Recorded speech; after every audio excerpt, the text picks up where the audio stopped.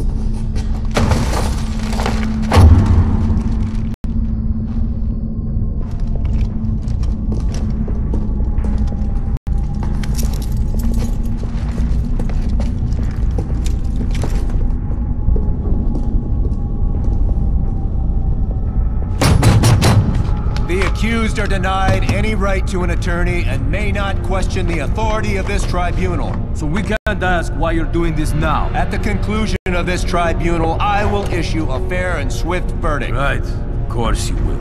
Colonel, are we being charged with doing our job? The charges will be defined as I hear your testimony. Now, Lieutenant Baird, begin with the last time we saw each other.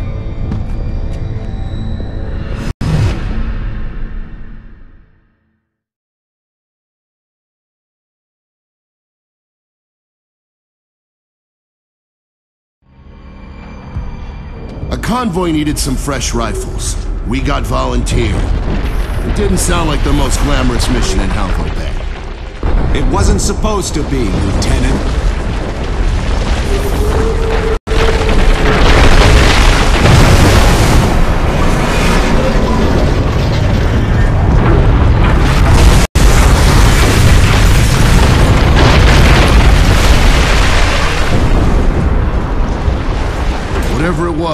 It looked like it was headed right for our convoy. Only Paduk knew what he was looking at. But he didn't say anything. Not yet.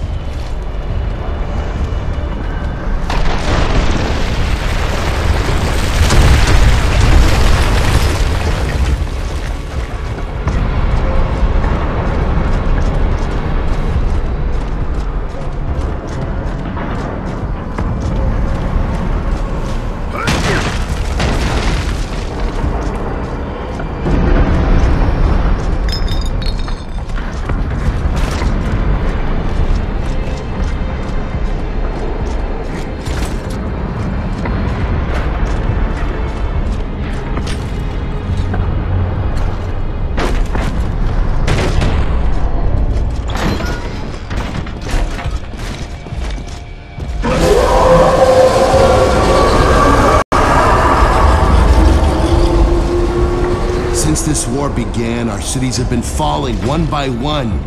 And Command has no idea who or what's responsible. Well, Colonel, I think I might know.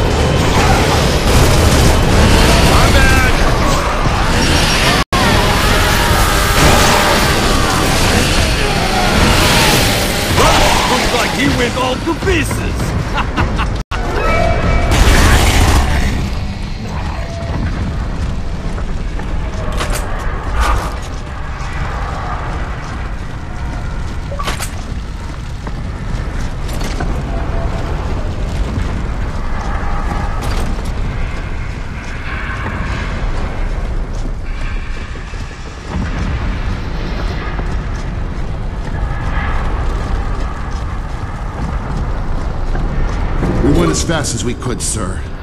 There was no saving that convoy.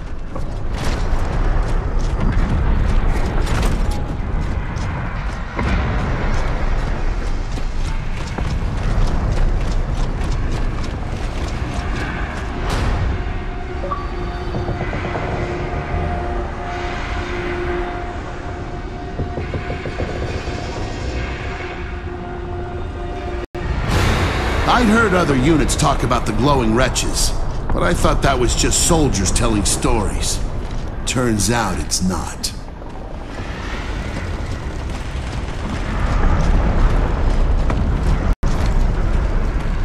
Our old convoy had been wiped out in minutes. Never seen anything like it.